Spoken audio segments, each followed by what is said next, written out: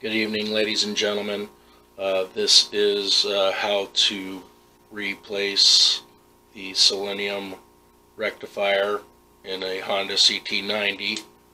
Uh, This is the 6 volt system. Um, I'm using for this uh, particular purpose a uh, bridge rectifier, a uh, MB2505. That is Mike Bravo 2505.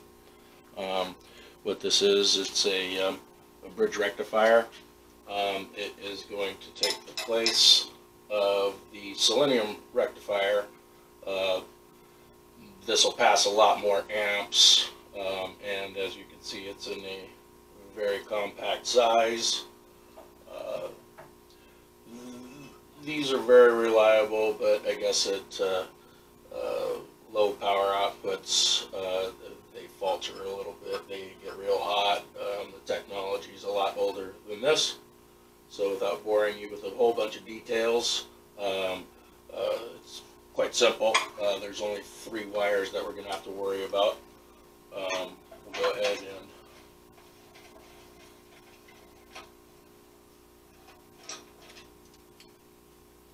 the rectifier. There's two bolts. Um, obviously, you want to disconnect the power from the battery. Uh, you can leave the battery in, but just disconnect the uh, power wire from the battery. Okay, um, there are uh, three wires that go to the rectifier. You have a pink wire, you have a, uh, a white wire with the red stripe or a red stripe with a white wire, I'm not sure which that goes, and you have a yellow wire. Um, that's the only real worries that you have there. Um, I've already made the harness for this, um, and I'll go through uh, what the wires are. Uh, the yellow wire um, is one side of the AC input. Uh, the, it, it creates AC, uh, the, the, stator makes AC power uh, to charge the battery. Well, it puts it through this rectifier in order to make the power to charge the battery. It comes out of this rectifier DC power. That's what a rectifier does. It takes AC power and makes it DC or vice versa. Um, okay, secondary to that, we'll have a pink wire. This one's red, but it, it, it's pink. Um, and we have the uh, red and white striped wire. And uh, the ground is made through the uh, negative terminal on the rectifier. Um, so the, the rectifier um, has three terminals that um, kind of go the same direction. So you'll have the AC leads are kind of in the north-south direction in this attitude. Uh, the ground, uh, the green, also is in that attitude. The positive DC wire is turned at 90 degrees to that. So it's uh, really easy to see which one will be the power wire. Uh, the power wire goes directly to the battery. Um, there is no um, break in the wire other than this connection. So um, this goes directly to the battery. The pink uh, goes to the, the, the stator, uh, as does the yellow. And uh, that completes the AC circuit. The DC circuit, there will be um, this red and white striped wire and the green wire. I hope I made that clear. Um, so, um, in this arrangement, um, you, you, could make a bracket if you felt like it uh, to mount the rectifier.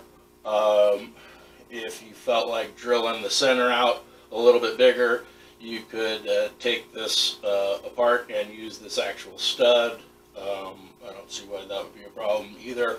Um, I'm going to opt to go directly into the frame and um, I'm using a number 13 drill bit. Kind of already marked out where I want it.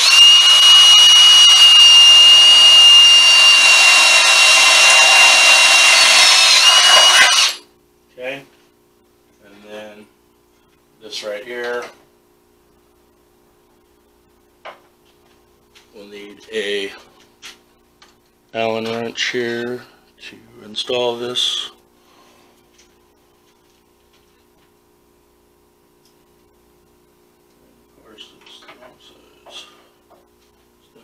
Just a second here. Alright, so, um, the, uh, center stud will provide the ground for this.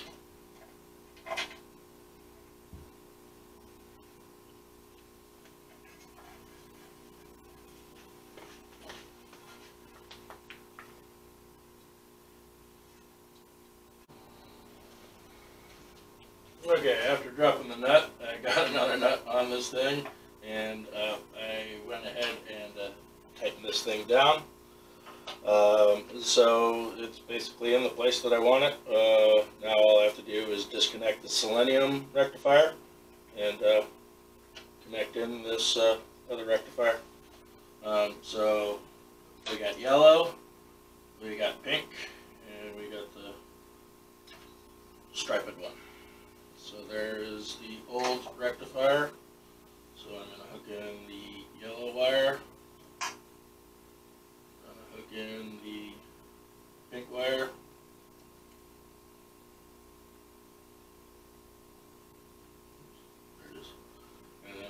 In the battery power.